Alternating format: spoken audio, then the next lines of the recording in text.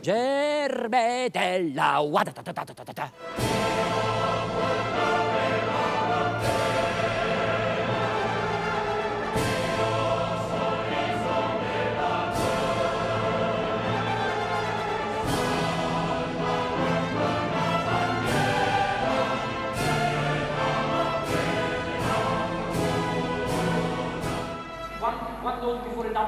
The orchestra likes you because you are inspiring. Those were the words music director James Levine used to congratulate the conductor Friedrich Haider upon his auspicious debut at New York's Metropolitan Opera with Verdi's Rigoletto in the fall of 2006. Levine's compliment exemplifies what today's leading orchestras around the world all admire about Friedrich Haider. With his vitality and knack for motivating his peers, the Austrian conductor with Italian roots transcends the shop-worn cliché that pits conductor against orchestra. It is not simply the dynamic performances that make working with Haider a real treat, but also his intense and in-depth rehearsals. First, he beats him down to the ground, and then uh, we come to, to Gustavo, and he wants to go out, and then there's no, rimani, no, stay. And he, he grabs him again, stay. And this is the chord, the second after G. Bah! You know, it, it is piano, but we said mezzo forte, and it has to have an attack. Not an accent, but an attack. Bah! Rimani. Friedrich Haider is considered one of the most flexible vocal conductors working in the world today. For him, the oft lauded breathing and phrasing with the singer is a given, whereby his top priority is the characteristic way he configures a piece, his tireless search for expression. Äh,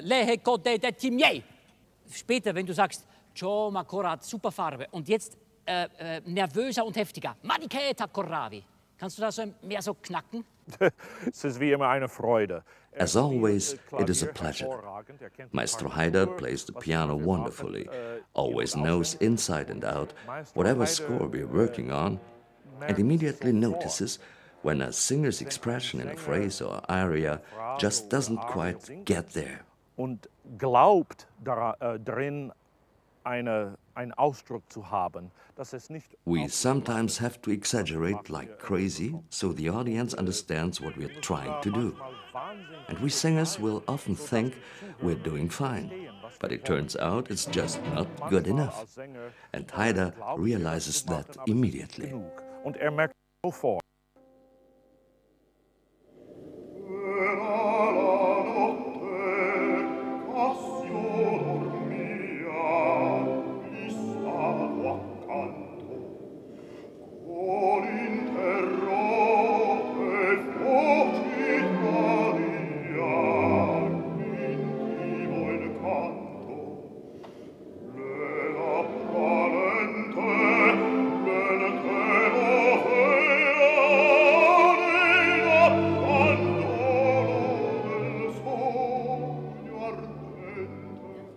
He's wonderful. He's absolutely extraordinary. He's, uh, he's, I've learned so much from working with him and doing this opera and um, um, the amount of knowledge and the amount of insight that, that he has given me. Um, it's, it's truly extraordinary. So I'm, I'm very grateful. He's just persistent and he gives you that confidence to do better at all times. His musical talent is discovered in early childhood. He first learns the violin and sings in the boys' choir under Bernstein and Harnoncourt. The Viennese painter and sculptor Ernst Fuchs becomes his mentor and exposes him to the depth and range that art has to offer. The 10-year-old is overwhelmed by a world filled with fantasy and surrealism he never knew existed. It is also Ernst Fuchs who introduces Haider at this early stage in his life to the world of literature, philosophy, and theater.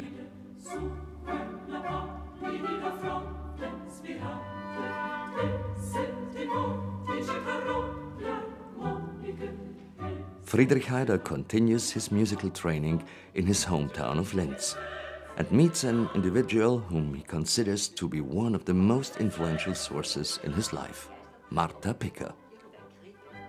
In my many years as a music instructor, Friedrich Haider was an exception.